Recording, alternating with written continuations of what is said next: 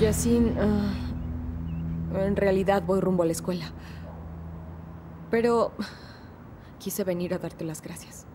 Así es, me lo dijiste. Sí. Debo habértelo dicho unas diez veces. Yo también te doy las gracias por estar aquí para agradecérmelo. Muchas gracias. En realidad, ¿sabes una cosa? Que haya sido ahí después de lo que ha ocurrido, bueno, sentí algo extraño. Me dejó muy sorprendida que hicieras algo así. Yo tampoco me di cuenta de eso. Sucedió de repente. No esperaba poder hacer algo así ese. Pero fue un deber de humanidad.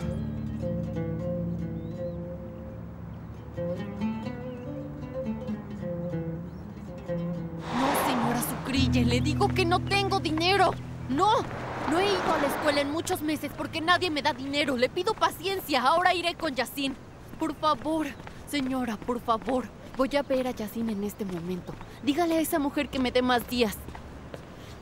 Ahora, ¿qué haré? En fin, será mejor que me vaya. Creo que exageré un poco este asunto. No. Creo que los dos exageramos las cosas. Lo dijimos, los viejos amigos no pueden ser enemigos. Así es. Pero los exnovios no pueden ser amigos. Eso jamás. Imposible. Así es. Ese. No puedes volver al taller. Fui a verte ese día, pero cometí un grave error. No debemos hacer esto porque no está bien. Es imposible. Comprende.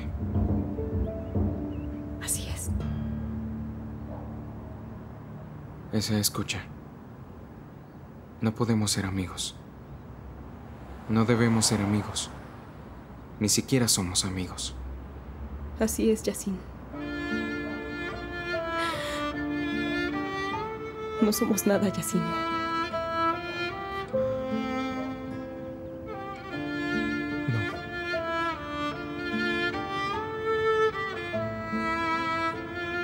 No. Somos familiares. La suegra y el yerno, nada más.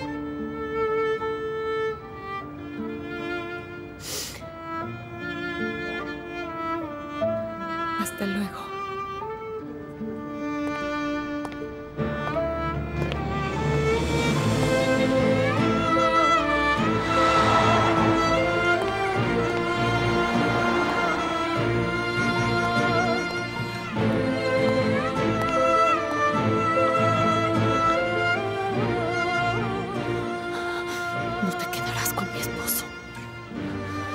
Y si no te quedarás con mi esposo.